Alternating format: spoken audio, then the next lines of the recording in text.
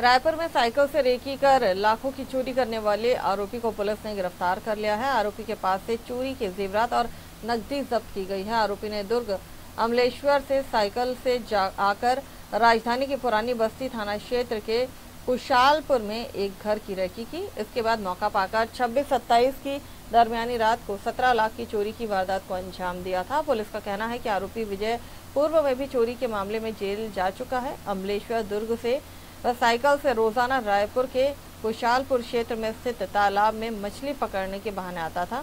इस दौरान वह आसपास के घरों की रेखी करता था। दिन में सूने मकान पर नज़र रखने के बाद रात में वारदात को अंजाम देता था। एक चोरी की घटना घटित हुई थी, जिसमें एक सुने मकान से लगभग 17 लाख के आसपास के जेवरात चोरी हो गए थे, जिसमें एक लाख कैश भी था।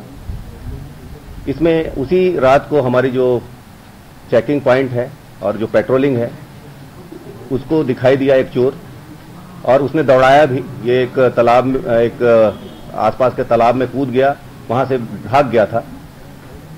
और फुटेज इसमें चेक किया गया, इसमें एक संदिग्ध दिखाई दिया, जिसको हमारी टीम, जो गठित टीम है, उसको विजय शर्मा के रूप में पहचान किया इन्होंने, और लगातार हमारी टीम उसके पतासाजी के लिए लगी रही।